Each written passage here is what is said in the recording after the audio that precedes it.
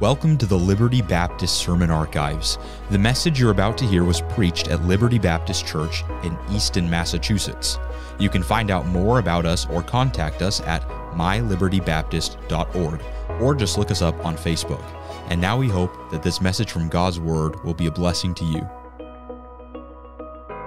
We are in 1 Samuel chapter number 13 this evening, and uh, we had such a wonderful look at Saul over the last few weeks. I have enjoyed this little brief time that we have had of Saul being a very good king.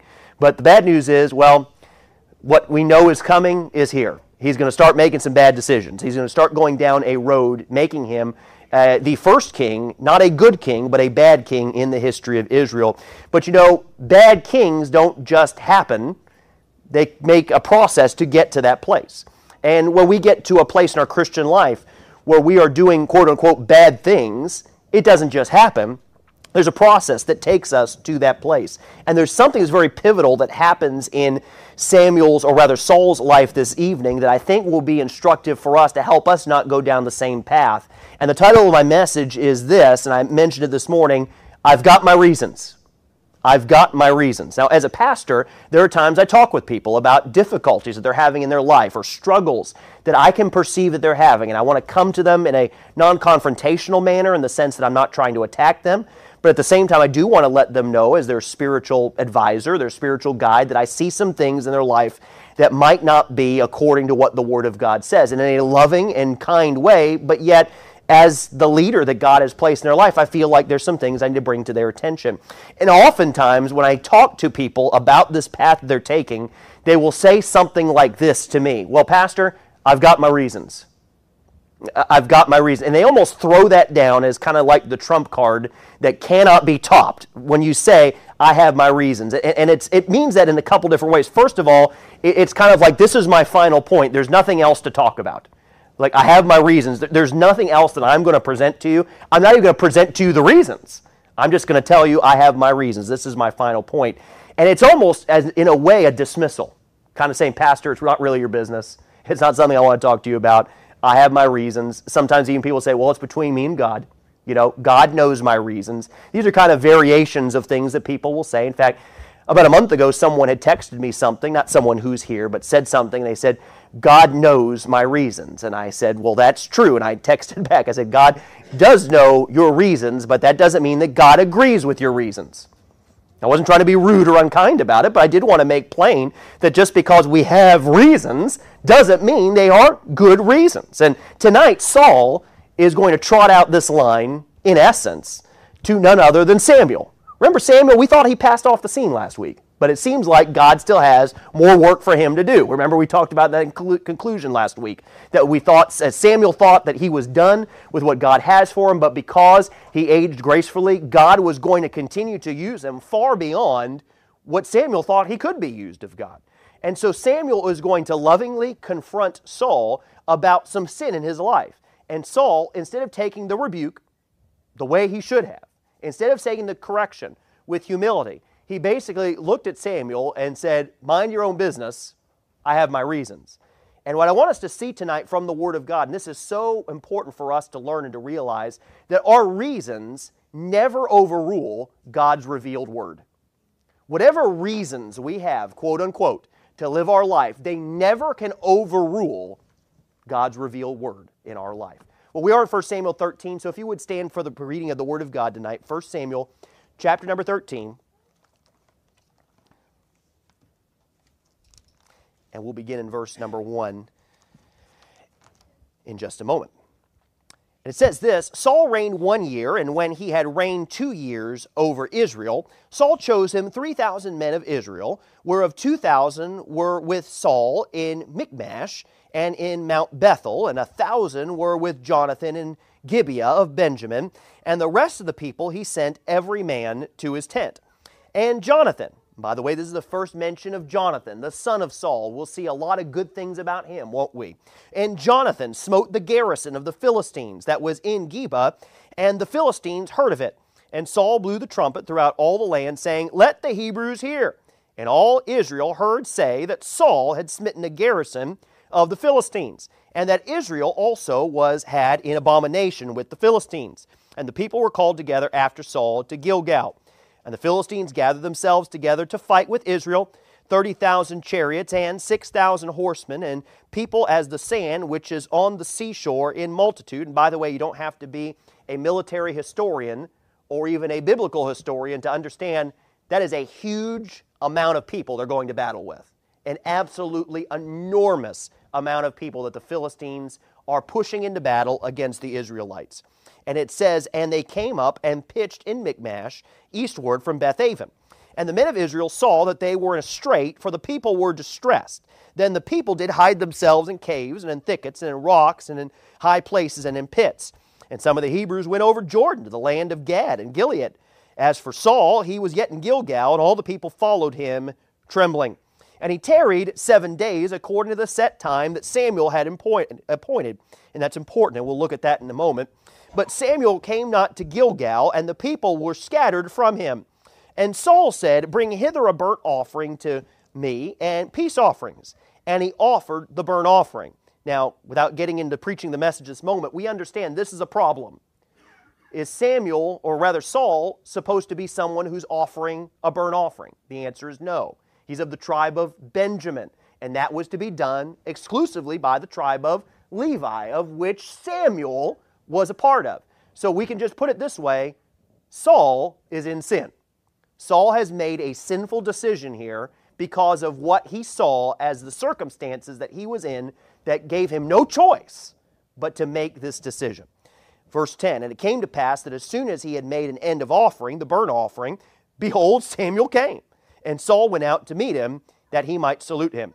And Samuel said, What hast thou done?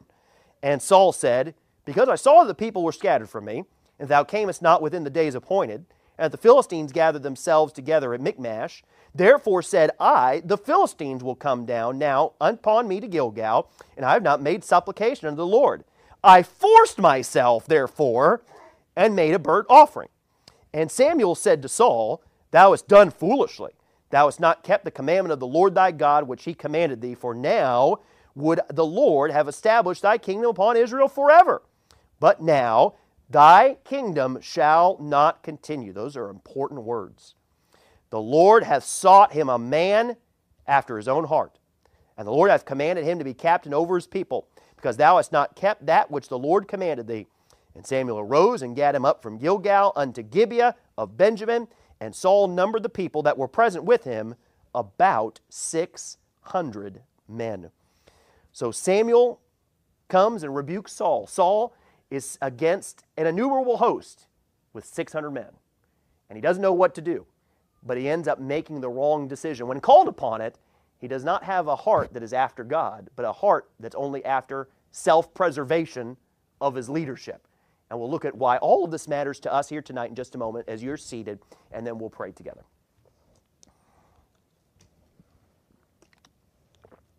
Heavenly Father, we do thank you for this night and thank you that we're able to get back in your word. And I pray that you would just bless as we look at these issues and help me to be able to say rightly what you would have for these people tonight, those who are here, those who are listening and watching. I pray that what I say is right and spirit led, and that you would help all of us to deal with this issue of being right before you and being right before ourselves, making sure that we're honest uh, in our own hearts about the own issues of life that we deal with. And we ask it all in Jesus' name. Amen.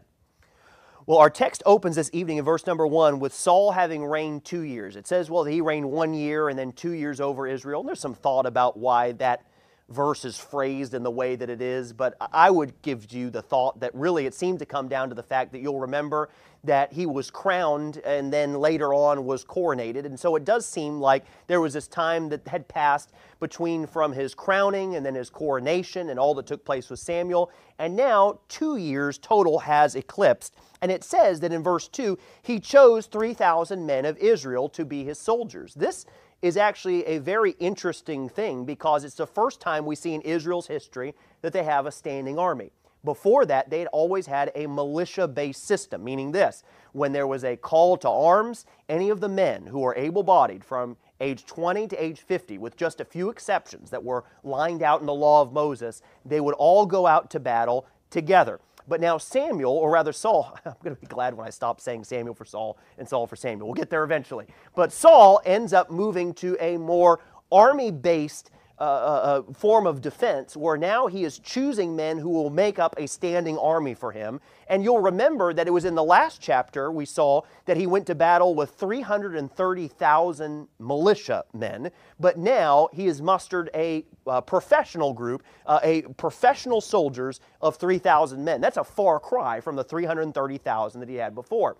But it ends up that Jonathan takes his detachment of men, about a thousand of them, and goes, and in many ways it seems like he pokes the bear of the Philistines. I'm not saying that he does anything wrong. Jonathan is a valiant man, and we're going to see so at the end of this chapter and into the following chapter as well. But Jonathan valiantly goes and fights the Philistines, and by the way, he wins.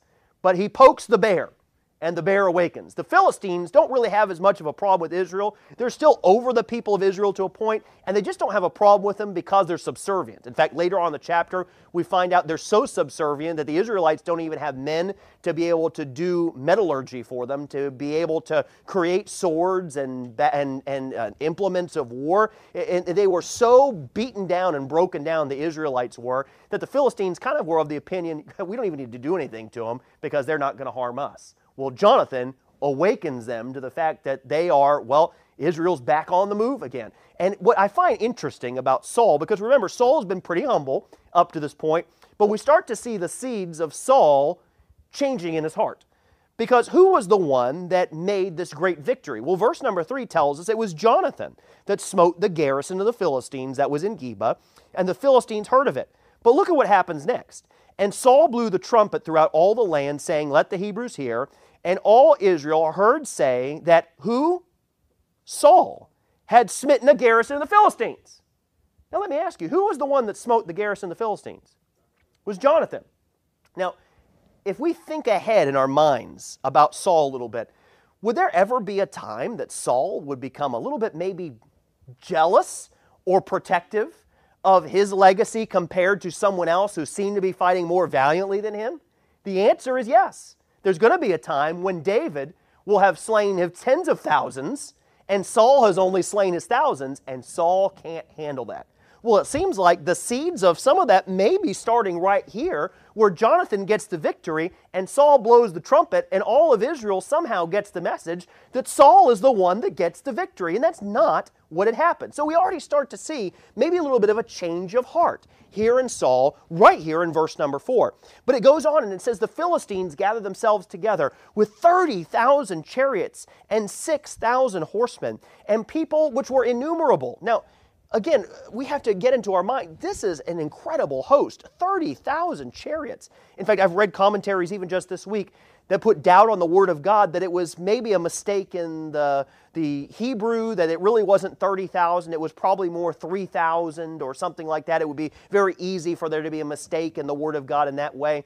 But I'm just simple enough and I'm just plain enough that if the Bible says there were 30,000 chariots, you weren't there, I wasn't there, those commentators sure weren't there. I just want to take the Word of God, well, at its word, and if it says there's 30,000, I have no reason to doubt that. And there would be some say, well, it's just not possible that the Philistines could possibly muster together 30,000 chariots to go to battle. And I'd say, well, I mean, doesn't seem like it's possible that the Red Sea could open. Doesn't seem like it's possible. A lot of things that we find in the Word of God that God has preserved for us in His Word. I just want to take it at its word for what it says. And so we see that there's a big host. Well, there's a big host here, and it doesn't seem like there's a reason to doubt that that's the case. And it says when Israel saw this, listen, they were distressed. They obviously saw a very big group, and it bothered them how big the group was. And they were not as valiant as Jonathan was. What are they doing? They're hiding. They're going every which direction, trying to find a place to go. Some were trying to find a hideout. They were going in caves and under rocks and in high places and in pits. Some just dropped out. They just ran away. It says in verse number seven that some went to the land of Gad and to Gilead. You realize that's on the other side of the Jordan River.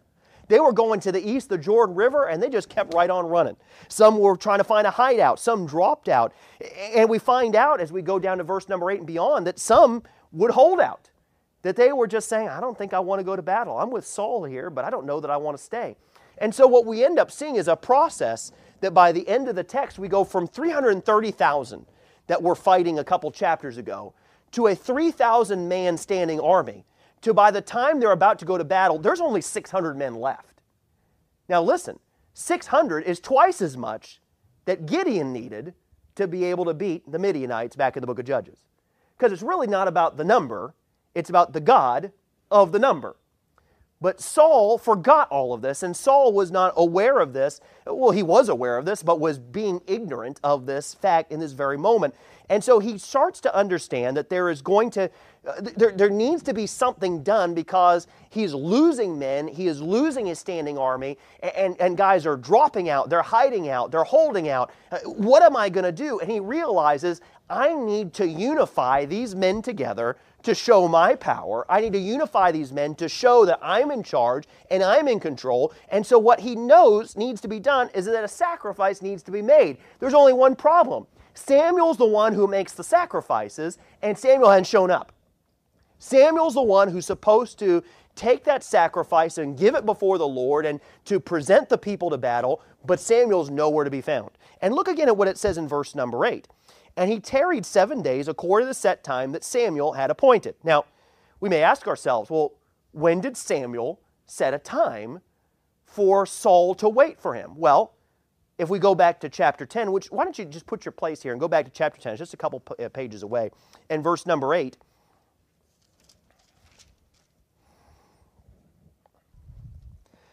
To go up to verse number 7, it says this And let it be, when these signs are come unto thee, that thou do as occasion serve thee, for God is with thee. And thou shalt go down before me to Gilgal, and behold, I will come down unto thee to offer burnt offerings, and to sacrifice sacrifices of peace offerings. Seven days shalt thou tarry till I come to thee, and show thee what thou shalt do. Now, this was probably two years before when Samuel told him this but he was telling them some signs that were going to come to pass. And he says, when they come to pass, there's something else I also want you to remember. There's something I just want you to put in the back of your mind. There's going to come a time at Gilgal where there's going to be a battle and a sacrifice is going to need to be made. You're going to need to wait seven days, and then I will be there, and then I will make the sacrifice. But what happens? Saul is waiting. It's one day, two days, three days. And he has men coming up to him and saying, What are we going to do? How are we going to win? Uh, guys are leaving. Uh, my, the captain of my battalion's gone. What are we going to do, Saul? I, I, thought we had this big group of guys. I mean, 3,000 choice men, and it seems like we're down to hundreds now. What are we going to do? And as day goes by day, and all this wears down upon Saul, he gets to the point where he realizes, I have to do something. I have to take control. And I will tell you, this is the most human and normal of all of the things that we deal with as people this idea of I cannot just have faith and wait. I've got to do something. I mean, does anyone else deal with this or is it just me? How often is it the fact that we know we need to rest upon the promises of God, but resting seems like waiting, and waiting seems uncomfortable. But there's something I can do, and so I might as well do the thing, whether it's right or not, because at least I'm doing something. But that's the opposite of faith. That's operating by sight. And this is what Saul's doing. And I understand he's in a difficult position, but he's a leader. He's supposed to be a leader of men. And what he is doing here is just giving in to the pressure of those who are around him. And by day seven, he says, Bring me the sacrifice. I am going to sacrifice this sacrifice myself. And he does so. And did you, did you see what it said in verse number 10? It says, And it came to pass that as soon as he had made an end of the offering, the burnt offering, behold, Samuel came. It was almost as if he is done and he says amen and Samuel comes around the corner. All he had to do was wait another 30 minutes. Remember, Samuel said, Seven days I'll be there. It's day seven. All he had to do was wait a little bit longer. But he refused to wait. And what ended up happening was Samuel showed up and confronted him. Now, this is serious on a couple hands. One, Saul was told to wait, and he did not wait. And secondly, Saul was not able to give the offering. You'll remember that in Second Chronicles chapter 26, King Uzziah tried to do the same thing. King Uzziah was a good king, and he attempted, because of the haughtiness of his heart, to offer a sacrifice. And the Bible says that as he did so, the leprosy went up his arm and throughout his whole body. God takes a dim view of those who were trying to usurp the position of the priests of the tribe of Levi. That was true whether it was the first king in Saul. That's true if it was later on the divided kingdom with Uzziah. So he has made a bad choice for two different reasons. One, because he's transgressed the law of the Levites and because he has not listened to the revealed word of God given to him by Samuel. And when Samuel spoke to him, he was speaking to him the word of God. We know that because Samuel was speaking to him things that were revelatory, things that could have only come from God. Samuel couldn't have known these things that were going on that he prophesied before, chapter 10, verse 8, and certainly he wouldn't have known in and of himself that in two years there was going to be this issue at Gilgal and that I was going to be there, but I was going to have to wait seven days. Only God could have given him that. So he transgressed against the law that was written, and he transgressed against the law that was spoken to him through Samuel from God. But this is where the rubber hits the road. And this is where we get to maybe the most illuminating part about Saul's heart, and sadly, one of the most pathetic parts about Saul's heart. And I say pathetic not because I, I want to cast aspersions on him tonight, but I, I say that word pathetic quite literally uh, the definition of pathetic means miserably inadequate, of a very low standard. And we're going to find that Saul's heart is miserably inadequate.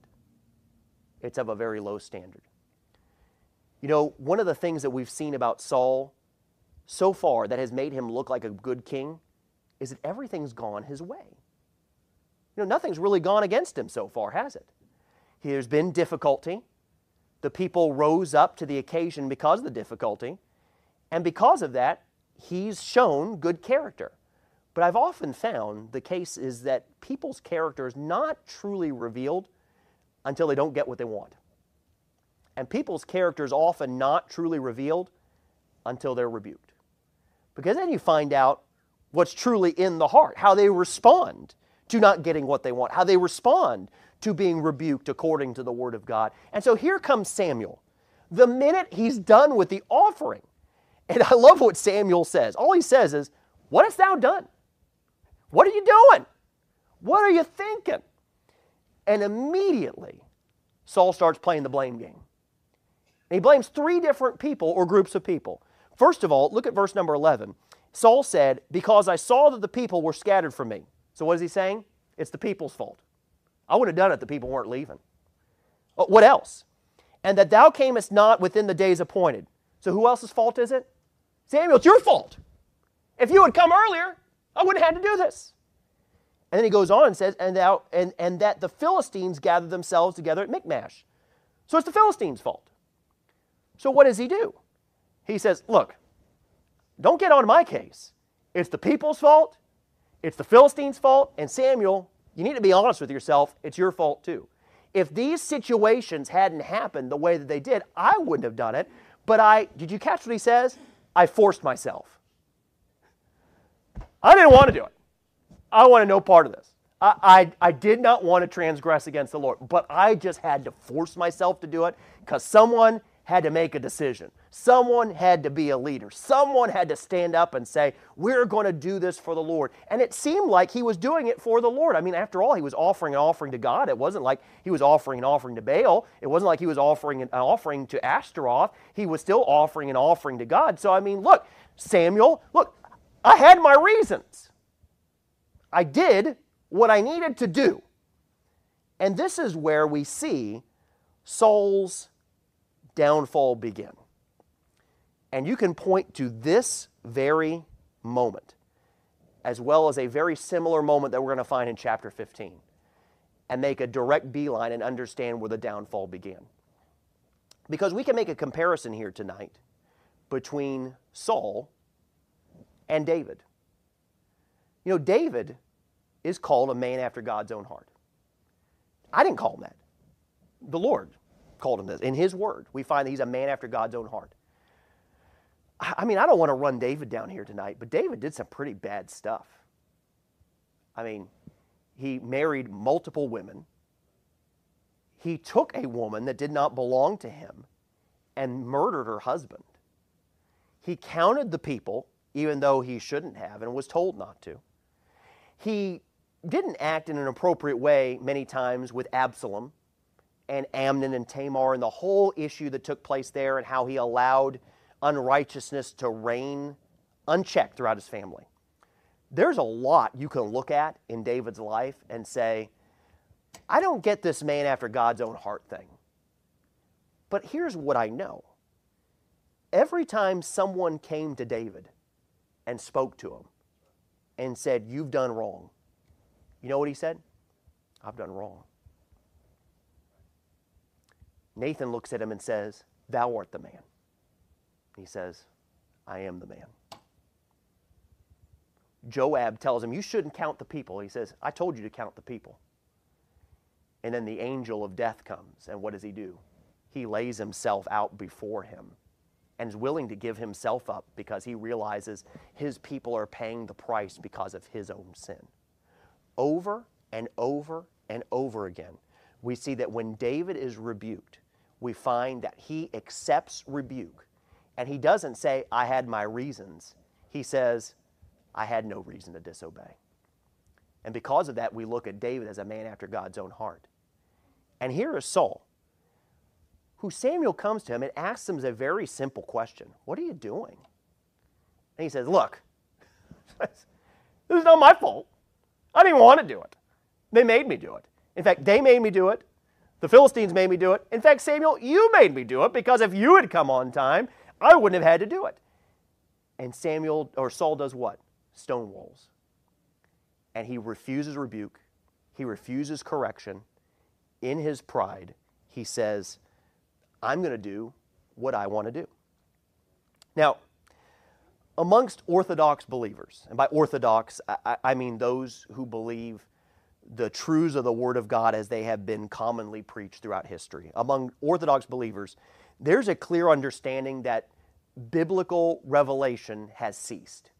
Meaning this we're not getting any more of this. Revelation tells us don't add to it, don't subtract from it. That if someone says, I have a new word of prophecy that is to be added to Scripture, we can say, according to the Word of God, no, you don't. No, you don't.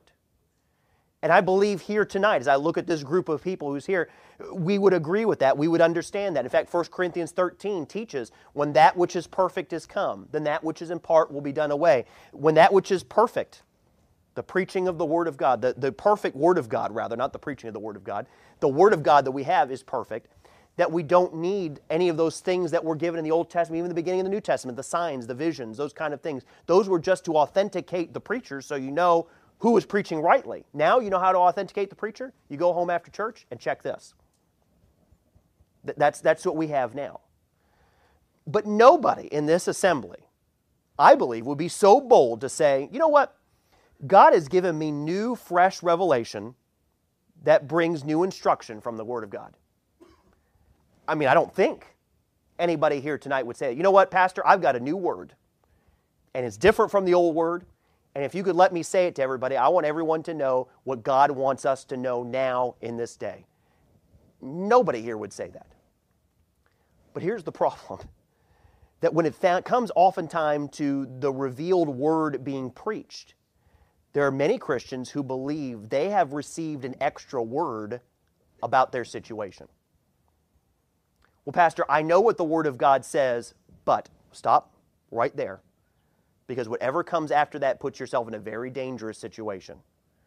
Because when you start to say that your situation merits a very specific and very special exception to the Word of God, what you are saying is you have something that provides more clarity that you have received than what the Word of God has. And friend, that's a very difficult place to be. That's a very dangerous place to be. Now, none of us would actually say that out loud. But that's really what is implied when we say, well, I know what the Bible says, but I have a reason. Here's Saul. Well, I know. Samuel, I know what you wanted me to do, but look, the people were leaving. They were, we're about to get conquered. Israel was about to, to be destroyed. What did you want me to do? And Samuel rightly said, What I wanted you to do was obey. In fact, in chapter 15, we're going to find that obedience is better than sacrifice. And to hearken is better than the fat of rams. God doesn't need the sacrifice. God didn't need that animal. What God needed was a leader who was willing to lead, thus saith the Lord. And that's why he says in verse number 13 Samuel said to Saul, Thou hast done foolishly. Thou hast not kept the commandment of the Lord thy God, which he commanded thee. He says, But verse 14, The Lord has sought him a man after his own heart. And I can tell you on the authority of the word, any reason that we give for disobeying the word of God, no matter how reasonable or heartfelt it may seem, it is nothing but an excuse. And I'm afraid that sometimes as Christians, we have carved out exceptions to what the Bible says about our situations. And when we do so, we put ourselves on a very dangerous road like Saul, because when you can start questioning the Word of God, how it applies to you in this area, you can start to question how it applies to you in a lot of other different areas of your life. And all of a sudden, you're doing things that you never thought was possible, and you think you're doing it all with God's blessing. But unless God has given you an extra word, which He hasn't, then we have to just obey what the Word of God says and trust that resting upon His Word is always the right way to go. Well, Pastor, I have my reasons. Well, I hear that a lot. We talked just over the last few weeks about tithing. You say, oh, Pastor, here we go about tithing again. I know. One more time, all right? One more time. I think it was, it, was, uh, it was illustrated to us by Marcia's testimony about some great difficulty she was having in her life. And she says, But I realized that I needed to tithe. And God brought her out of those situations because of faithfulness to what the Lord had already revealed in His Word. But when we say, Well, I would tithe, but my situation is such, what we're implying is that we have more wisdom than the God of the universe who put all of this into place in the first place. And there's a whole host of people would say here, you know what, when I started tithing, I probably wasn't independently wealthy. I think that's probably all of our testimonies here. But we just trusted the Lord and realized, wow, I'm glad I didn't make myself the exception because I would have lost out on what God has already told me to do. And so there are some that won't tithe or refuse to tithe. Can I tell you, you're not the exception, and your reason is not a biblical reason. Say, Pastor, are you upset about this? No, I'm not. I'm just saying it's just one of many examples we can give where it's very easy to tell ourselves, well, in my situation, you know, once I get out of debt, or once I get this new job, or once I switch jobs, or once we pay down our house a little bit, or once we have this taken care of, and once and once and once and once, as I mentioned a few weeks ago, ends up being never. Trust the Lord. Trust Him, and He will bring you through well, you know, I don't really walk with God the way I want to right now, but I'm going to get there. You know what? Next year, I'm going to get there. Well, why not just start tomorrow? Well, I got some things going on personally right now, but I, you know, once I get through those, you know, God wants you, especially in this time, when you've got some things personally going on, to walk closely with Him. Well, you know, I, really want to start having a prayer life. I'm really going to start doing that, you know, in the coming year. But it's July. It's why I hate New Year's resolutions because you get to August, September, you're like, ah, I'll wait till next year. Like, why do we need it? Imagine the head start we'd have if we started certain things in September. We get into January feeling great. But oftentimes, like dieting, well, you know, it's July and uh, we got cookouts in August and uh, Halloween candy and Thanksgiving and Christmas. Uh, well, then January, we had all that. I'll start in February, but then there's Valentine's Day candy too. And you know what ends up happening? We have our reasons but we don't end up doing what God wants us to do. And that's kind of a silly illustration, but it illustrates a spiritual truth that we put off some very important things until later. There's no good reason, well, there's no good reason to avoid using good language. Well, Pastor, you know, the language I use, I'm just around some rough people and I've got to be rough too. No, you need to be salt and light. Yeah, we're not trying to fit in, we're trying to stand out for Jesus. And so you may have a reason to act in a certain way, but that's not doesn't mean that's something that God endorses. Let, us get let's get real here for a minute. Some bitterness, some forgiveness that needs to be extended. Pastor, you don't know what they did to me, and, and I don't. I don't know the situations of your life that you've gone through. But it's been said before that forgiveness is realizing that you need to release a prisoner and that that prisoner is you. And oftentimes, the forgiveness that we need to extend has a lot more to do with us than it does the other person. Again, I'm not saying that we end up restoring someone to a place that they don't deserve. We don't forgive a thief and then make them a bank teller. You understand what I'm saying tonight? What I am saying is this there could be some hurt or bitterness that you're harboring in your heart. And, Pastor, if you only knew what I went through, you wouldn't be saying what you were saying. Listen, I'm saying it because I love you, but Jesus knows what you've been through. And He wants you to extend forgiveness for your own sake. Again, that doesn't mean that person becomes a close confidant or someone that's trusted with you again. They could have done something that would cause that trust to be revoked, and I understand that. But forgiveness can still be offered, even if it's just in your heart. Maybe you can't extend it. Maybe they've passed on. Maybe it's someone that you can't even converse with anymore. But, Pastor, I have my reasons. Listen, God loves you so much, He doesn't want you to have a reason other than to say, I need to forgive them. This is kind of one of those messages that's really great until we find a place until it applies to our life, and then we don't like it as much. Because we all have a place. We all have this area of our life that we've kind of held back from the Lord because we have our reasons. And He says this I want you to give it all to me. You haven't got an extra word, you haven't got extra biblical prophecy given to you. We have these 66 books that are sufficient for everything we need that pertains to life and godliness, the Bible says. Allow it to work in your life. Allow God to do what only He can do in your life. Saul did not, and he started down a very bad path that we can point back to chapter number 13.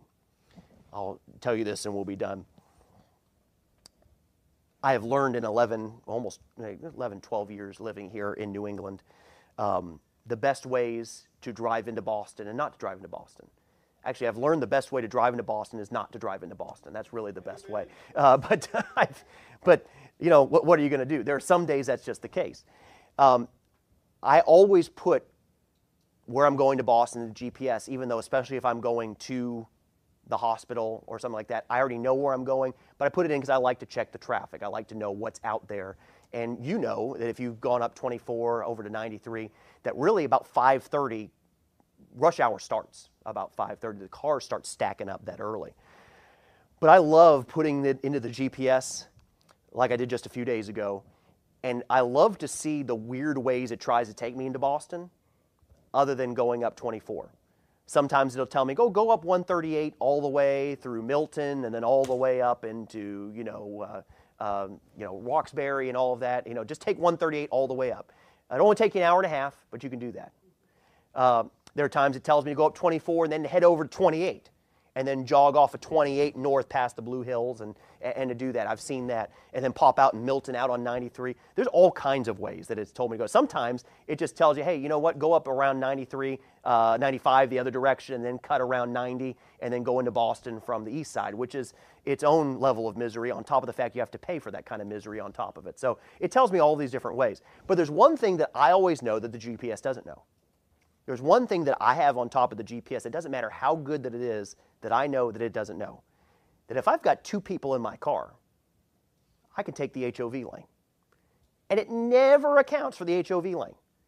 And one of one of the most pleasurable things in my life, and you say, Pastor, you have a pretty sad life. Listen, just leave me alone. One of the most pleasurable things in my life is to drive up towards Boston and at sea it's an hour, hour and 15 minutes. And you go in that HOV lane and you watch that time go down. It's, you know, it's 50 minutes, it's 40 minutes, it's 30 minutes, and it's just going down. I'll tell you, it's a good feeling. It, you know why? Because I've, I've outsmarted the system. The system thought it knew, but I knew better. And it feels good when I end up getting into Boston about 50 or so minutes. Every once in a while, I found that the HOV lane's actually slower than the regular traffic, which is a little bit weird. But on the whole, I have found that I outsmart the GPS when it comes to going to Boston. You know why? Learned experience. I've lived a little. I've lived here long enough that I've learned a few things. You know what I found is true for Christians? We allow our, quote, learned experience. Remember, we talked about this last week with aging gracefully? We allow our learned experience to sometimes draw us to wrong conclusions. And we start to think, well, I've seen a few things. And because of what I've seen, I'm going to act in this manner. The problem is, is that when we relate that to going against a GPS, you know, the GPS doesn't know everything. the GPS is fallible. When we talk about our relationship with God, we're not going to outsmart God. We don't know a corner that God does not know about. He created the corners, He created the roads, He created the computers, He created all of it. There is nothing that we can do that can go around and circumvent what God has put in His Word and that we can be better off. And I'm afraid too many times as Christians we get a GPS mentality where, you know, it's a suggestion, but I know better about the Word of God. And that is a very dangerous place to be. This is not just your handy helper. This is not a way to avoid some of the traffic of life. It is the Word of God to live by. It is the Word of God to obey. And it is the Word of God that does not make mistakes. No matter how good your reasons are, and no matter how good my reasons are, they're typically just excuses. When God says to do it, we do it. And when we do our own thing, we put ourselves on a very bad path that Saul will end up finding out leads to his ultimate death because he refused to listen to God. Our reasons never overrule God's revealed word. Thank you for listening to this sermon from the pulpit of Liberty Baptist Church. If this message was a blessing to you, or if there's any way we can serve you, please let us know by contacting us at info at mylibertybaptist.org, or you can visit us this Sunday at 800 Washington Street in Easton, Massachusetts. May the Lord bless you as you grow in His Word.